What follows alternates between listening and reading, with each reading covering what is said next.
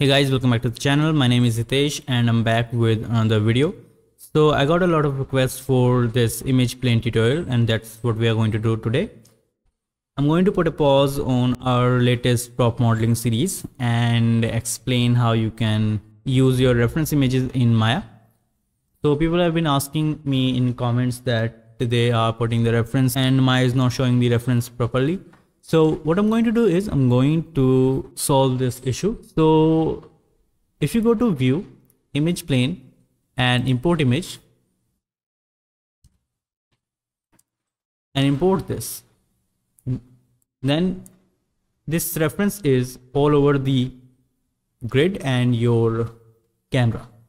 Now if you take a cube, make it bigger and if you place it anywhere like this, it hides your mesh. And also you can't just make this reference image smaller or bigger. You don't have any control over it. So what we are going to do is if we have image planes like this, we have references of all sides. So we are going to import them in their respective view. So if I have this front view reference, what I'm going to do is I'm going to go to front view first and change my viewport to front view. Then go to view, image plane, import image. And now if you select your reference, open it, then you have this reference. You can move it here like this or make it bigger, even rotate it. You have all this control like this. If you go to perspective mode, now you can push it back further as much as you can so that if you take a geometry now and make it bigger like this this won't hide your mesh.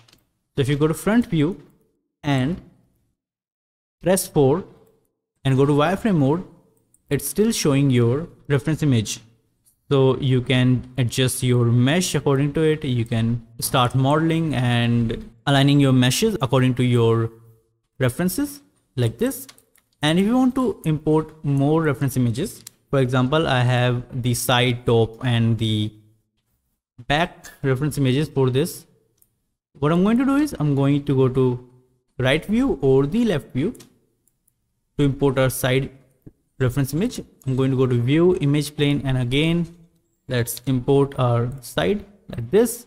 And if you go to perspective mode, then you'll see that we have our side reference image here like this. You can scale it and make it bigger. So if you go to front view now, you have the front image. If you go to right view or the left view, then you have this side view. And similarly, you can go to top view, go to view, image plane, import image, and import the top view image. Now push this down, make it bigger go to top view and now you can see it clearly. Also if i select all these reference images go to my channel box and import them in a layer. You can create a new layer select everything go here add selected object like this. Now all these objects are in this layer as you can see. Or what you can do is you can just click on this icon and it will create a new layer and also add the selected object into that layer. So you don't have to do it again. So if I click here, now my work is done. Everything is in this layer. Now I can freeze them like this. Now I can't select my reference images, which is very helpful when you are modeling. So you don't want to select your reference image or move them by mistake. And that's how you can import the reference images into image plane in Maya. So if I go to front view, I have the front reference. If I go to right view, I have the side reference. And if I go to top view, I have the top reference. That's how you can work in Maya.